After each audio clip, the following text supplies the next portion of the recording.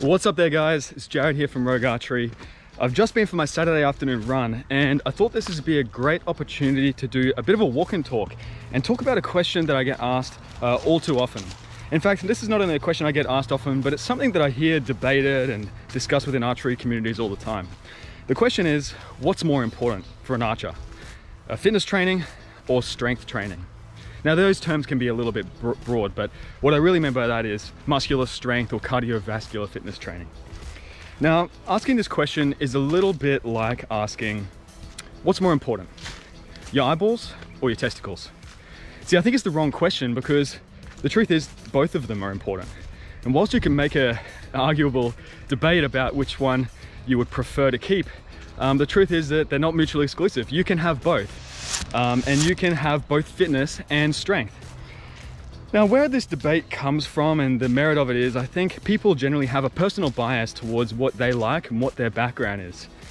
So if your background is in strength training or in strength sports and that sort of thing, and if you like strength training, you're likely to be in the camp of saying that strength training is superior and uh, you need to strength train to be a, a better archer because there is an element of muscular strength involved in archery.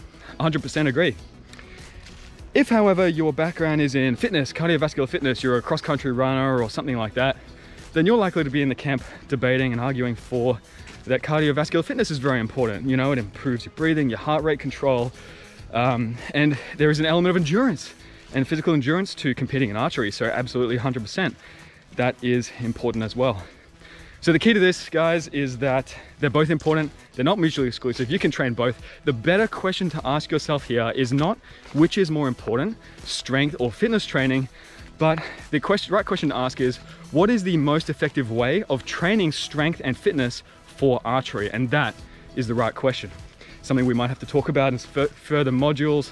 I could do a whole course on that. So um, yeah, maybe we'll go through that.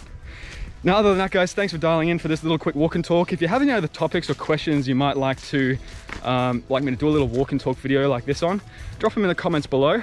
I'm happy to answer any questions. I do read all the comments in all my videos. Um, and thank you guys for making it an overwhelmingly positive experience, sharing knowledge and, and growing in a community like this.